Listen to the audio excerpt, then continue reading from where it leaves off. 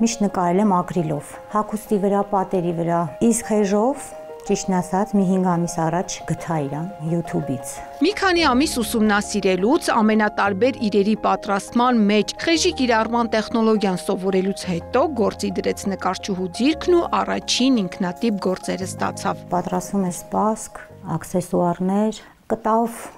ժամացույցներ, հայլիներ, ու ինչ կարելի է անցնել մարդու մտքով՝ բրոշներ, բրիլոկներ, ամեն ինչ։ Փայտի ապակու հայելու եւ էպոքսիդի համադրությամբ դեկորատիվ կիրառական այս իրերը ոչ պակաս արվեստի գործեր են։ Պնդում է Նարինեն ու հավելում՝ ի տարբերություն գեղանկարչության այստեղ չհամադրվող գույներ չկան։ Երբեմն սառը ու տաք գույներից ամենաանհավանական միքսն է ստացվում։ Ես իրան առաջարկում եմ գույներն ու համադրությունը,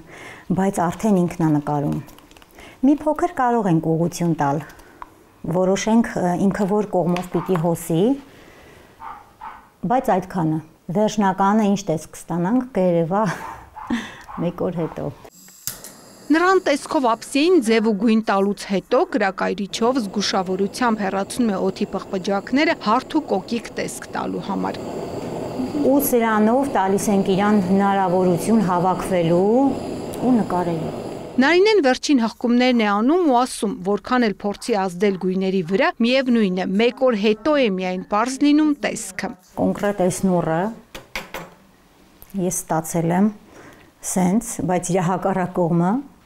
անսպասելի ինձ համար հետաքրքիր նկարչություն եղավ, էսի խեժն է որոշել նկարի սենց։ Ես սենց եմ նկարել Սոցիալական ցանցերի միջոցով պատվերներ է ստանում ամենատարբեր երկրներից։ Վերջին առաքումը Ռուսաստան է արել բնական ծաղիկներով պայուսակ։ Հիմա նաև շատ պատվերներ է ստանում վարսահարդարման սրահների հայելիների ձևավորման համար։ Շատ հարցեր են տալի տարբեր բնույթի, ինչով է պատրաստվում, ո՞նց է պատրաստվում, կնկարեք ձեր ընթացքը, մենք է տեսնենք, պահանջարկը կա, հետաքրքրությունը կա, մեզ մնում է մատակարարել։ Նարինեն ուզում է զարգացնել խեժի ծիրերի հայկական շուկան ու մասնագիտանալ երևակայությունն ու ներաշխարը այս գույների միջոցով արտահայտելու հնարավորություն տվող գործի մեջ։ Ես սիրում եմ խեժի հետ աշխատել, մտքերս հավաքվում են, կենտրոնանում են ստեղ ու